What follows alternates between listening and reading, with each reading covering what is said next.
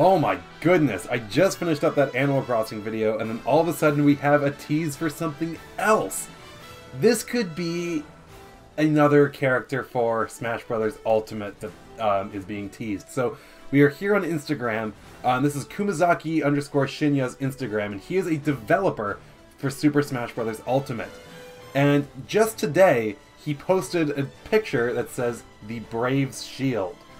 Now, you guys probably all know what I'm going to be talking about here, but this is, I think, a big tease, possibly, um, to a Dragon Quest character, specifically Erdrick, being in Super Smash Bros. Ultimate. Of course, you guys all know Vergeman, along with others, were teasing, or were saying that another Square Enix character were going to get into Smash.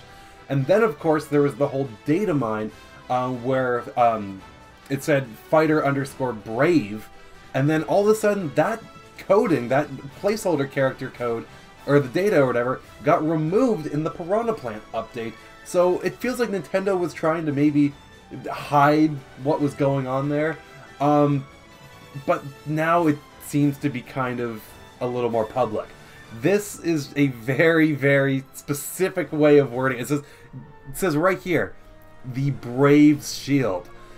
That is just a very specific thing to say and to post, um, especially when you're a developer on Super Smash Bros. Ultimate. You know, when you're when you're someone like that, you got to be very careful with what you post because it can be taken in very, very many different ways.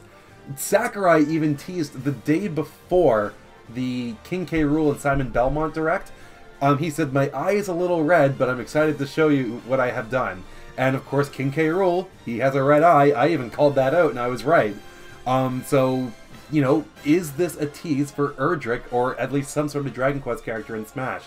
I think there's so many things that are kind of pointing towards it now that this is just another. This is a nail in the coffin, in my opinion. I am very much a believer that Dragon Quest is going to be in Smash. Dragon Quest is a huge franchise in Japan. I think the writing's on the wall. But let me know what you guys think about this in the comments down below. Hit that like button if you enjoyed, and don't forget to subscribe if you've not already for more on Super Smash Bros. Ultimate and other Nintendo goodness. Alright, peace out, guys. Bye.